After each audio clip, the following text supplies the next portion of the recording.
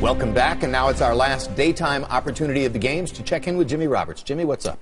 Lamps, you know, ever since the first athletic endorsement contract was signed, we've probably been asking this about our high profile and successful athletes. If they do well, shouldn't they also do good?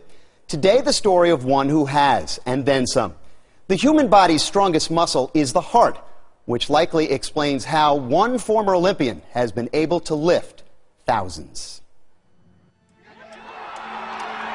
In sports, the best are selfish because they don't have any choice. Care too much about anything but being the best, and it's best to just get out of the way. Occasionally, though, something happens and everything changes. So it was for Johann Olav Koss. Who was a bigger deal when the Winter Games came to Lillehammer in 1994? In front of an adoring home crowd, he won three gold medals. But all the while, something was on his mind. Five months earlier, he visited Africa. He was haunted by the poverty and the desperation, but mostly by the children who had nothing but bad dreams and worse stories. The racket, racket came Street, the fly expo.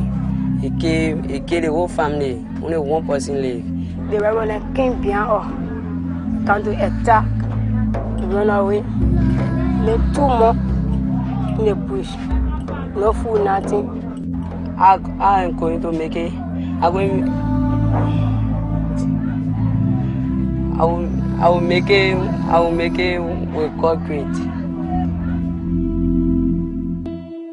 One child told Koss he was the most popular in his town because he had a long sleeve shirt, the only thing that was suitable to roll up and make into a soccer ball. That was the day for Koss.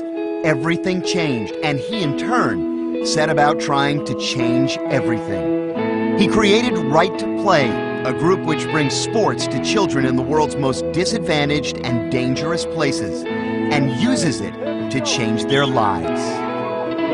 Instead of becoming child soldiers or suicide bombers, they now believe that they can be teachers or lawyers or doctors or they can be coaches and they, start believing in a good side of life. In its standardized red ball curriculum, Right to Play has reached more than three quarters of a million kids in 23 countries. Sports becomes more than just games. They become lessons about winning and losing, conflict resolution, even HIV and AIDS. To see that these kids understand when you have a red ball and it can signify red blood cells or the red ball can signify a virus, and you can educate them on prevention at a young age, it definitely has an impact. Here in Beijing, Johnson & Johnson has donated money to the organization for every athlete who medals and signs up to be a Right to Play ambassador. Koss has been able to recruit more than 400 Olympians from 50 countries. And so with a red ball and an army of children, Johann Olav Koss has set out to change the world. Sports are often frivolous, athletes sometimes selfish, but not always.